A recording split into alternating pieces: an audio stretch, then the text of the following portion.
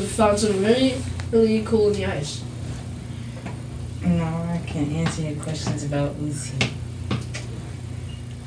Uh, So tell me, what is this thing that you're so special about it?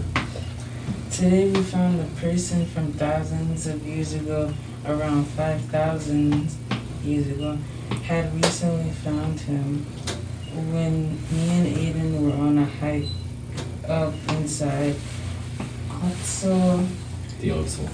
Otso Alps. At one point, two countries fought over the membership of Ötzi. Ownership. Ownership, ownership.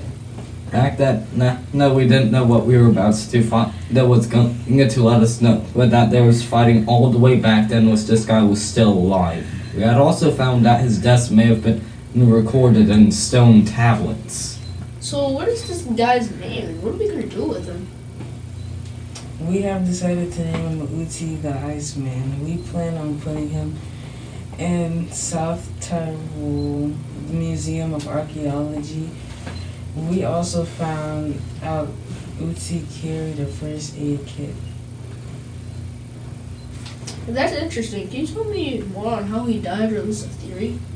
Uh, we think that, that there was a stone arrowhead lodged in the side of his left shoulder, and that's how well he may have died from infection. But there was also another theory that we had found a few years later that uh, he was a, a sacrifice to the gods of the snowy Alps. Alps.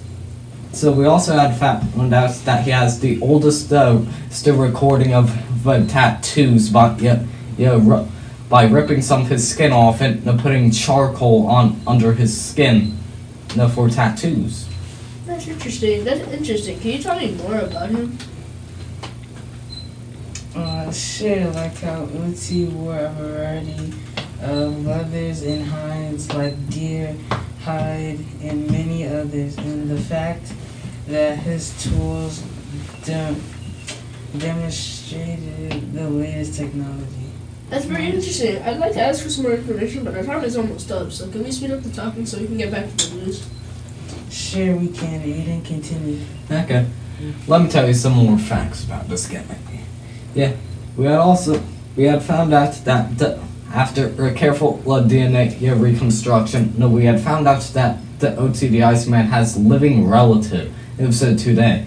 Yeah, yeah, and the, also he had several health conditions. uh, And, s- and, uh, and also after a careful stomach examination, we had found that his last um, meal was dried lamb meat.